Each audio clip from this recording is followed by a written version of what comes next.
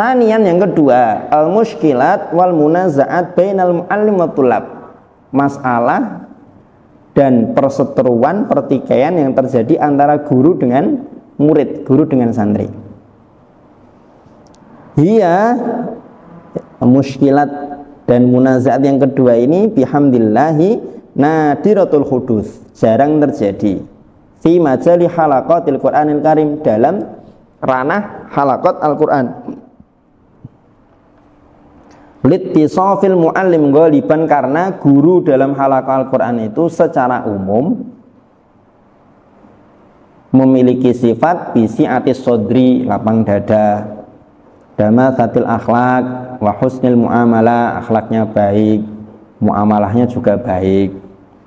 Umumnya gitu umumnya gitu Wa in wujita hunaka ba'dul muskilat min hadzal nau' kalaupun didapatkan di sana ada beberapa permasalahan seperti ini fa aglabu asbabiha ya'udu ila dha'fi tarbiyatit talib. Maka mayoritas sebabnya merujuk atau kembali pada lemahnya pendidikan murid. Au fasadil bi'ah al bihi atau rusaknya lingkungan yang uh, meliputi dia di mana dia tinggal. Kawujudi rufaqatin sayyiatin haulahu seperti adanya teman-teman yang buruk di sekitar dia.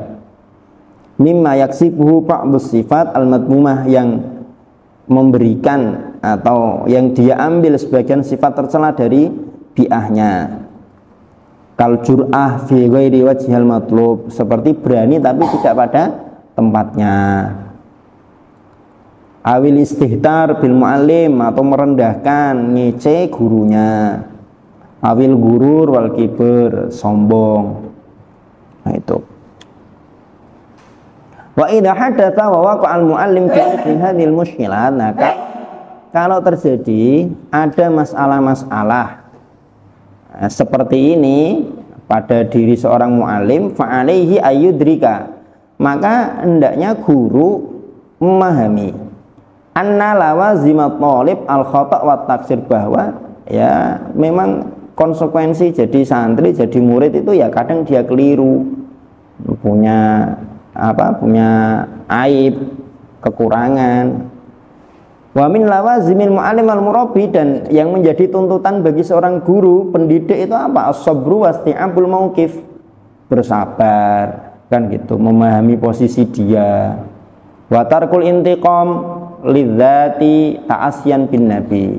Tidak dendam kan gitu. jadi murabi pendendam. Jadi ustadz pendendam. Ah, repot.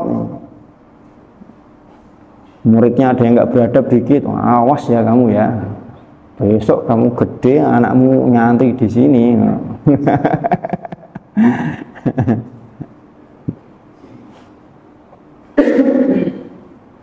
Ya begitu.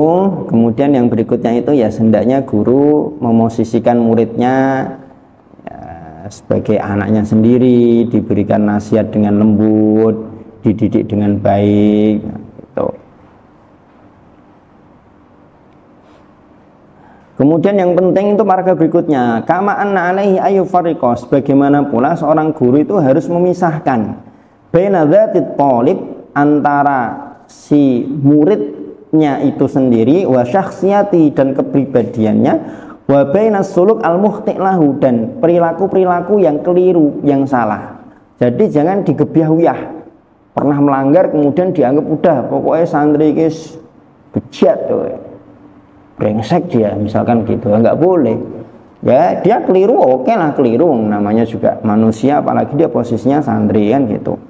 Insya Allah kalau eh, kita yang pernah nyantri ngerti ngerti lah bagaimana fase-fase orang nyantri itu kan. Kalau masih semester 1 itu biasanya masih muti' jidan. Kan apa-apa itu sergap disiplin kan gitu. Tahdir belum jaro sudah persiapan ya kan.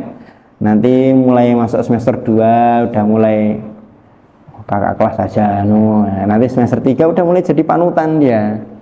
Panutan dalam telat tahdir nah, semester 4 nah, kalau yang dua blok ya, malah jadi gembongnya.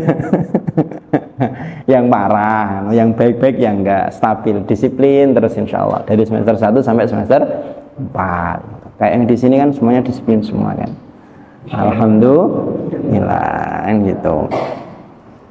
Wa ayyushirat talib bidzalika fayubayyin lahu annahu yamlikul adid minas sifat al juga tidak hanya membedakan dalam aspek sudut pandang dia sendiri tapi gimana caranya dia menyampaikan membuat santri itu merasa bahwa bagi ustadz kamu ketika salah ya salah tapi di luar kesalahan ya sudah kamu ya santri saya. Ini gitu. Sampaikan kepada dia ya kamu emang hobi nih keluar komplek gak izin loh. Tapi bagus kalau halakoh kamu nggak pernah ngantuk mantep. Just misalkan gitu. Ya namanya kadang santri kan gitu. Dia punya kekurangan mungkin ketika pelajaran dia nguntak ngantuk. Tapi ketika apa dalam hal yang lain misalkan dia rajin dia sergap manutan kan gitu dan lain sebagainya. Wala ta'thira li tasarrufil mukhti ala makanatihi ladal muallim idza tadara anhu wa sadaqa fi taubih minhu fi taubati minhu. Insyaallah sikap ustaz kepada antum itu tidak akan berubah antum di mata ustadz insya Allah sama. So, yang penting ketika antum melanggar antum akui antum minta maaf antum kerjakan hukumannya dan tobat kan itu itu sampaikan kan baik.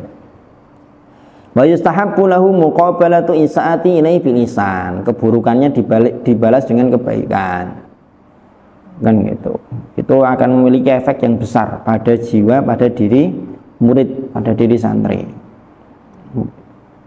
ada santri misalkan iseng aja usil sama ustadznya kan.